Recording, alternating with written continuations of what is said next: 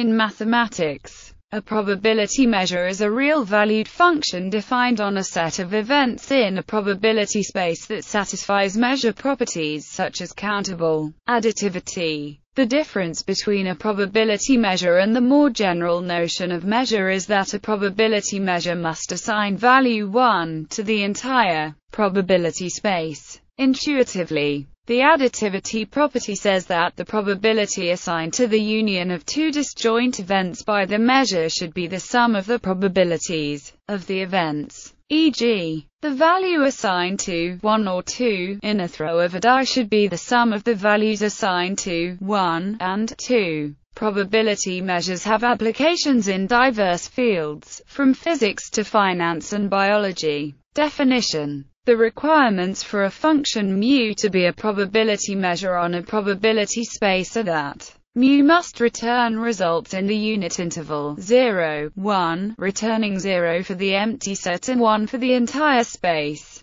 Mu must satisfy the countable additivity property that for all countable collections of pairwise disjoint sets, for example, given three elements 1, 2 and 3 with probabilities 1 quarter, 1 quarter and 1 half, the value assigned to 1, 3 is 1 quarter plus 1 half equals 3 quarters. As in the diagram on the right, the conditional probability based on the intersection of events defined as satisfies the probability measure requirements so long as is not zero. Probability measures are distinct from the more general notion of fuzzy measures in which there is no requirement that the fuzzy values sum up to 1, and the additive property is replaced by an order relation based on set inclusion. Example applications Market measures which assign probabilities to financial market spaces based on actual market movements are examples of probability measures which are of interest in mathematical finance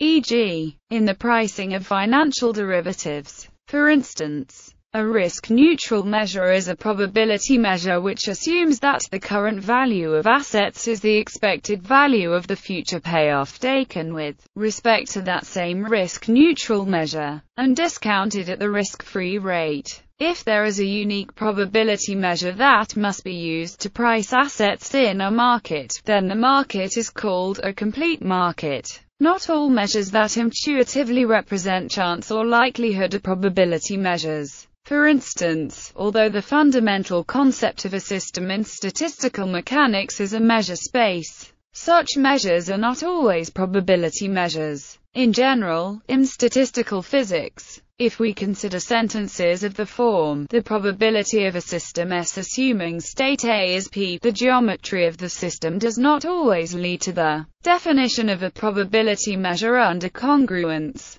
although it may do so in the case of systems with just one degree of freedom. Probability measures are also used in mathematical biology. For instance, in comparative sequence analysis a probability measure may be defined for the likelihood that a variant may be permissible for an amino acid in a sequence.